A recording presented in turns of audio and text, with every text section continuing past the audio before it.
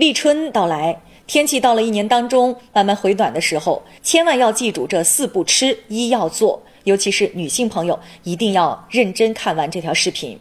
那到底是哪四不吃呢？第一，生冷食物，它们对胃有一定的刺激，大寒时节尽量少吃。第二，芹菜可不能再吃了，芹菜性凉，以免拉肚子或者引起身体其他的不舒服。第三，海鲜尽量少吃，海鲜性凉，不能多吃。第四，少吃辛辣的食物，比如说辣椒、花椒这一类的。立春时节，冬燥明显处于干燥的季节。这个时候，如果你吃辛辣的，容易上火，适当的少吃辛辣食物。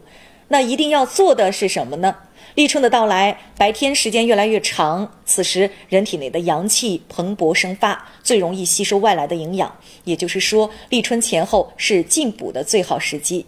因此，人们在进补的最佳时期可以食补，为了抵御冬天的严寒，补充元气。那么，立春时节也就是女性朋友自身保养的好时机，有一个好身体，才会有应对生活的底气。人到了一定年纪，尽量少吃面条、米饭等主食了，糖分太高了。可以早上这样喝，再好的保健品都比不上它。你把黑米、红米、糯米、红豆、花生、桂圆、红枣、枸杞加满水以后，盖上盖儿，隔水炖六十分钟。一个星期喝两次，让你的美由内而外的绽放。